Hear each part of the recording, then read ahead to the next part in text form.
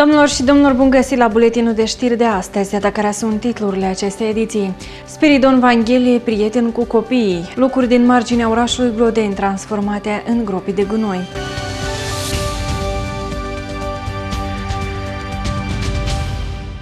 Copiii din grupa Fluturaș a grădiniței numărul 5 din Glodeni au avut astăzi parte de o adevărată sărbătoare. În această zi ei l-au marcat pe renumitul scriitor al copiilor, Spiridon Vaghelie. Opera scriitorului i-a adus pe copii în minunata lumea lui Guguță. Mai multe detalii în cele ce urmează. Copiii din grupa Fluturașii de la grădința numărul 5 și-au invitat astăzi semenii la matineu dedicat eroului îndrăgit Guguță, ce vine din creația lui Spiridon Vangheli. În acest an, opera scriitorului este marcată în întreaga țară. Copiii au devenit pentru câteva clipe actori și au reușit să-l prezinte pe Guguță ca cel mai îndrăgit erou pe care l-au cunoscut până acum. Copiii au recitat versuri, au cântat și au dansat. Copii, știți vreo povestioară de a lui uh, Spiridon Vangheli? Cum bicicletă, banca lui Guguță, ceasul lui Guguță, da, daul Guguță. Copii, dar cine este Guguță? Este un bălițăr care trăiește în, în satul Treies. Și încă mai știți ceva despre Guguță? Este omul principal din opile Măspiridău Vangheli. Cum v-ați simțit voi astăzi la sărbătoare? Care ați făcut? Bine! Copiii au aflat mai multe despre Guguță în cadrul activităților tematice. Guguța! Da, mama, l-am vândut! Bravo, Guguța! Nață bungoară să mergem acasă! Astăzi, în uh, grădinița numărul 5 din orașul Glodeni, a avut loc o activitate extracurriculară uh, cu genericul Spiridon Vanghelie, prietenul copiilor. Și iată, aș, am vrea să menționăm că toate cadrele didactice, după ce sfinisează un studiu tematic, realizează câte o activitate extracurriculară dedicată acestui studiu tematic. Alfabetizare emoțională. Deci ar trebui să învățăm de la Guguță uneori să fim ca el, generos și așa mai departe. Apoi competența de a învăța să conviețuiască. Să ne amintim cum se conviețuia sub cușma lui Guguță. Se conviețuia în liniște, în pace și în armonie. Și această cușmă s-ar face și mai mare și ar încăpea toată Moldova, toată planeta, dacă oamenii ar face cât mai multe fapte bune. Deci și copiii, și maturii, permanent, avem de învățat din opera Marelui Spiridon Vanghelie. Acesta a avut loc în cadrul activităților extracurriculare. Copiii au învățat de la Guguță să fie prietenoși, ingenioși și au promis că se vor strădui să-l urmeze pe Guguță în viața de zi cu zi. Menționăm că Spiridon Vanghelie la cei 81 de ani este renumit în peste 68 de țări ale lumii și operele sale fiind traduse în 40 de limbi.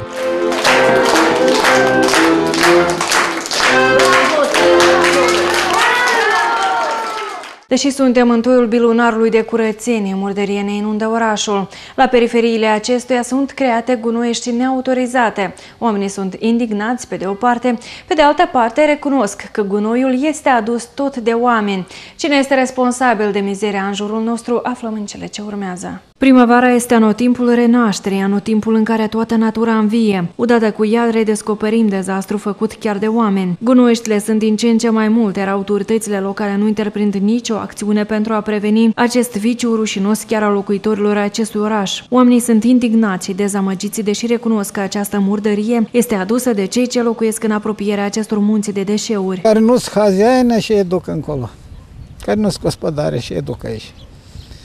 Că dacă începând la mărul Gorod, ăsta, păsiolcă, și tot oamenii au sărit și au făcut o curățenie frumoasă. A doua zi, iar din nou, cu Și cine aduce aici gunoi? Nu E tot că- oamenii. Oamenii de noapte vin și și eu și spăzesc. și toată vremea cetățenii străzilor, străzilor acestora se, se jălui pe că mai cu seamă vara când se descompune gunoiul acesta un miros neplăcut și aduce daună și așa oamenii părere de rău știm cu fel de fel de boli grele care duc la moarte sute de oameni. Cu vreo șapte ani în urmă a fost împădurită și dacă aveți să păstrezi toți copașii, aveți să fie acest loc împădurit și aveți și o, pă- un parc, o pădure, ea ca așa cum este colțul, s-a păstrat aici, cred că întâmplător. Din cauza că au păscut și căprile, și oile, și vaștele, și mai Dar departe. cine aduce aici gunoiul? Aduc, cred că tot oameni din apropiere, dar pe urmă tot ei se jăluie că uh, ad- când bate vântul din partea de nord, tot mirosul este vrut duce în coașă. Și clar că asta e dăunător. Chiar în timpul realizării acestui reportaj, un angajat al gospodăriei comunale descărca o remorcă de frunze uscate în una din gunoiștile neautorizate, localizate chiar în oraș. Angajatul susține precum că acest tip de deșeuri se permite de a fi transportate anume în acest loc. Этот гуной э, Куманхоза с поселка. Și aveți dreptul să lăsați aici? Да тут гуноя нету, листья, видите? Da, dar aveți dreptul să lăsați aici chiar și aceste... Не, придет бульдозер и обратно все заделает. Бульдозер был наш тут, все сделал. И листья разрешали, разрешили сыпать, но мусор, видите, другие сыпят мусор. Мы мусор тут не сыпем, возим на свалку. Primăria orașului Glodeni are deja un plan de a lichida aceste gunoiești neautorizate. Проводятся необходимые мероприятия по ликвидации неавторизованных стихийных свалок. Согласно плану проведения мероприятий по благоустройству города, который был принят на сессии местного совета 28 марта текущего года, были определены шесть основных неавторизованных свалок, из которых на сегодняшний день я могу вам сообщить, что ликвидированы три. Что касается неавторизованной свалки в районе кладбища, сообщаю всем, что данная свалка предназначена только для вывоза мусора, э, а именно листвы, который собирается в городе. Э, данную листву имеет право на сегодня вывозить только коммунальное хозяйство. Весь остальной мусор, э, бытовой и весь остальной, În orașul Glodeni este o gunoiște autorizată. Neautorizate însă sunt mai multe. De vină pentru acestea sunt chiar cetățenii acestui oraș. Au venit să-și măsoare tensiunea arterială, unii pentru o simplă verificare, alții pentru că se simțeau rău. În mai multe centre din orașul Florești au fost instalate puncte pentru verificarea tensiunii. Au venit să-și măsoare tensiunea arterială, unii pentru o simplă verificare, alții pentru că se simțeau rău. În mai multe centre din orașul Florești au fost instalate puncte pentru verificarea tensiunii. Asistenții medicali au examinat trecătorii. S-a întâmplat în cadrul acțiunii Ține tensiunea sub control. Asta în condițiile în care bolile de inimă sunt prima cauză de deces în Moldova. Printr-un șir de măsuri am vrut astăzi să întreprindem niște măsuri pentru a sensibiliza populația uh, că este necesar să-și ține tensiunea arterială sub control. De aceea am organizat niște puncte de screening a tensiunii arterială în localul primăriei, în Consiliul Raional, filiala Poștei Moldova, deci în unele localuri care sunt mai eh, frecventate mai des de către populația noastră. Având în vedere că morbiditatea și mortalitatea la noi în țară prin boli cardiovasculare este destul de înaltă, de aceea a fost bine, este binevenit genericul Zilei Mondiale a Sănătății, hipertensiunea arterială. Specialiștii spun că este vital ca fiecare om să-și cunoască nivelul tensiunii arteriale. La moment eu am pastil de captopril, dacă la moment este tensiunea arterială mărită, depinde de uh, gradul de tensiune. Dacă e mărită după uh, 180-200, le administrez câte o pastil 25 de miligrame sub, uh, sublingual, care în timp de 15 minute tensiunea arterială se micșorează. Dacă e 160-170, dăm 15 mg de captopril ca, pentru a micșora tensiunea arterială. Trecătorii au profitat de această ocazie. Dacă astăzi am intrat așa случайно aici și nu găsesc tensiunea mai mărită. Așa de vreme urmăm le tableci și ne cuci să recomandă doctor de familie și urmăm primim. Curem dumneavoastră tensiunea este mai... Da, stau la evidență. Ce, Hiper... ce curs de medicamente primeți? Primeți regulat medicamente? Da, e geloc primesc. De la medicul de familie, regulat, înscriu după și primesc medicamente compensate. Când mi se termină, atunci mă adresez la medicul de familie și primesc regulat. 140 pe 100. A dumneavoastră tensiune mărită. Medicul de familie să vă, măsur, să vă prescrie medicamentele compensate pentru menținerea tensiunii arteriale. În afară de asta, dumneavoastră să odihniți la timp? Sare, să o- să o evitați din mâncare, puțină sare să mâncați, Dar eu nu dulciuri să nu folosesc. mâncați, grăsămi să nu mâncați, prăjit, conservători să nu mâncați, mai mult legume proaspete. La data de 7 aprilie în lume este marcată Ziua Mondială a Sănătății, care în acest an se desfășoară cu genericul Ține tensiunea arterială sub control. Acțiunea de sensibilizare a populației privind pericolul hipertensiunii arteriale se va desfășura pe tot parcursul săptămânii. Unde smulți, puterea crește. Contabilii din teritoriu au constituit o asociație a contabililor. Ei spun că așa mai ușor își vor apăra interesele, iar profesia de contabil va fi mai apreciată. În acțiunile respective, ei au avut toată susținerea Asociației Auditorilor și Contabililor din Republica Moldova.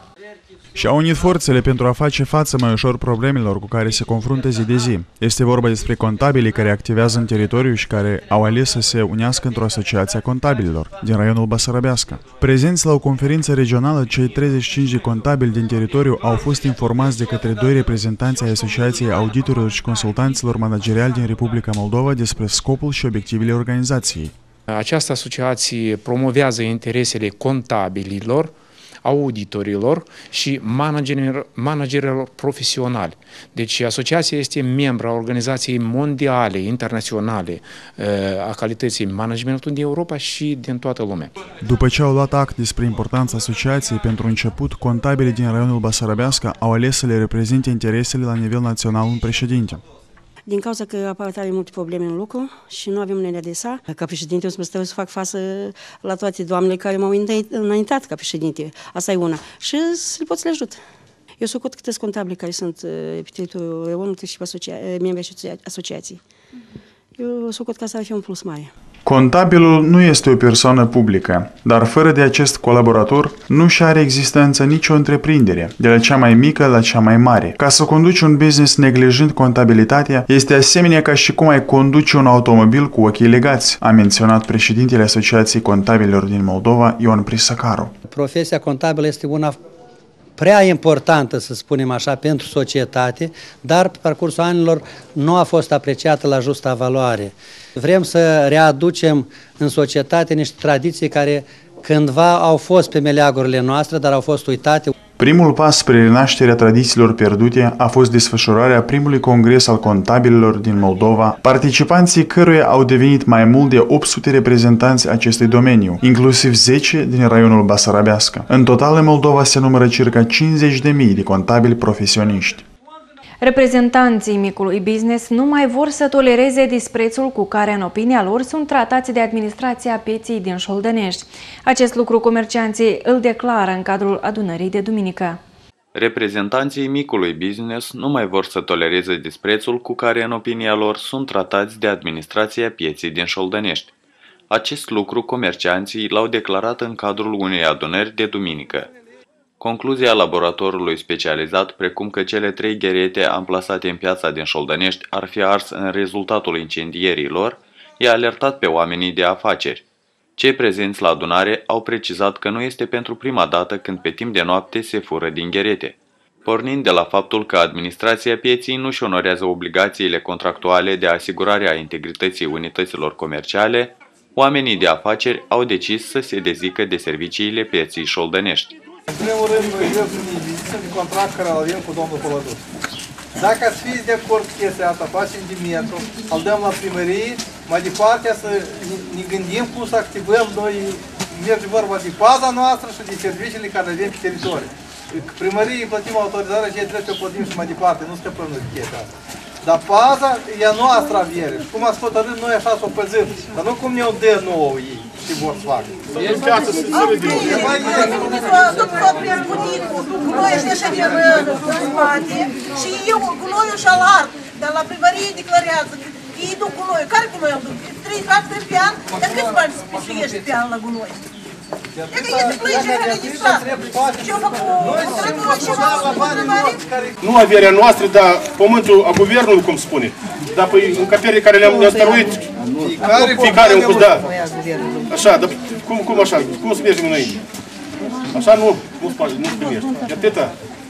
Ne grămădit, să ne gândim chinișor, grăim toți împreună și luăm o, o rezoluție, mergem cu un demers în fața primăriei, Mâine mâine, mâine, mâine la ora 9 ne ducem la primar tăi împreună, tot așa cum suntem asta pe asta, la domn primar. Și sună hotărâri.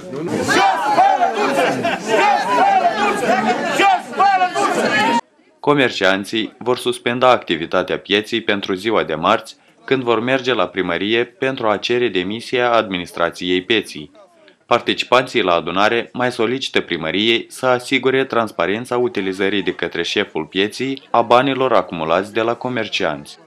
Criza economică își pune amprenta și asupra repartizării veniturilor lunare. Doar o mică parte din banii câștigați sunt rezervați pentru sănătate sau educație. Datele Biroului Național de Statistică pentru anul trecut arată că aproape jumătate din cheltuieli se duc pe mâncare. Datele făcute publice de către Biroul Național de Statistică arată că populația din Republica Moldova trăiește la limita minimă de existență. Criza economică își pune amprenta și asupra repartizării veniturilor lunare. Doar o mică parte din banii câștigați sunt rezervați pentru sănătate sau educație. Datele Biroului Național de Statistică pentru anul trecut arată că aproape jumătate din cheltuieli se duc pe mâncare. Cum credeți și... acest salariu reușește să acopere minimul de existență? După părerea mea, nu. Deoarece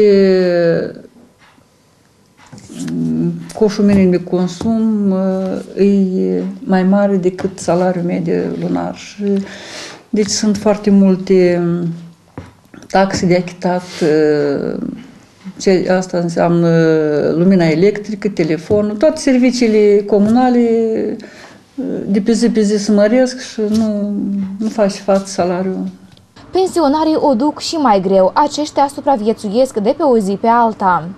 La moment, pensia pentru limită de vârstă, la moment la Casa Teritorială sunt un număr de 8594 de beneficiari care de pensii pentru limită de vârstă. Media pensii pentru limita de vârstă la data de 1 1 2013 era de 832 lei și 94 de bani. Conform datelor statistice, moldovenii cheltuiesc peste 40% din venitul lunar pe produse alimentare. Aproape 20% din banii câștigați sunt pentru întreținere, iar puțin peste 10% pentru îmbrăcăminte și încălțăminte. Intervievați de Albasat, oamenii din Isporeni spun că trăiesc la limita sărăciei. Nu ajunge. Așa e situația acum, nu corespunde salariul, cheltuielile care le facem noi. Ne chinuim de azi pe mâine, care și cum, dacă salariul e mic. Și am fost la asistența socială și am dat ajutor de la de la stat și e ca trei, trecut peste două luni și nu ne-au plătit nimic. La sfârșitul trimestrului 3 al anului trecut, cheltuielile pentru o persoană erau de 1700 de lei, în timp ce veniturile au fost de 1507 lei. Doamnelor și domnilor, acesta a fost buletinul de știri de astăzi, prezentat de Radar Ducan. Vă urăm o seară plăcută, la revedere!